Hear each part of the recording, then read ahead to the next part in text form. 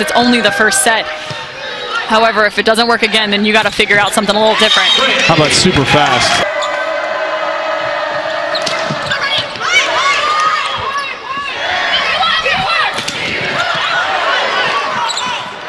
Abercrombie getting a lot of action late and responding with more points. 25-21. The lefty for USC closes out the first. Incredible. Kenzie Koerber out of T Street Volleyball Club. That's located down in San Clemente. Troy Tanner, Olympian gold medalist, in charge of that. Overpass, and again, SC making Utah. Backslide off the block and in. Make it 8-3. Botkin staying one-on-one on this slide, reaching out and still manages to pick up the block. A 17-12 Beth Lanier call. Set point number two. Super fast to the outside. That ball had to go over and it did not. SC closes out the second stanza. SC in the white. That would be crimson if you're Utah. Ooh, the power of Nikki.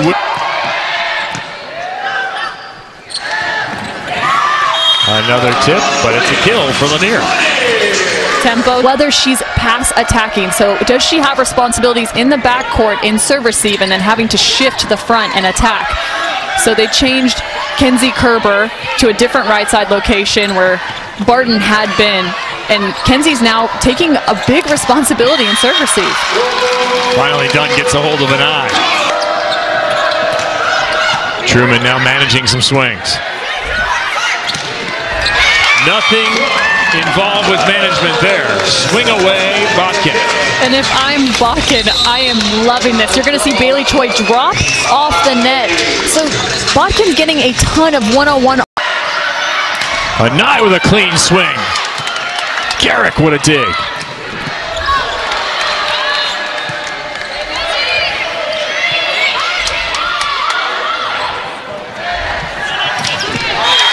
Finally, Abercrombie inside the block and down with authority. Might cheat towards Anae here. The block did it, and Jordan Dunn gets it done. USC finishing off with a big statement on the block. This is a huge win for them, keeping them in that second place position in the Pac 12.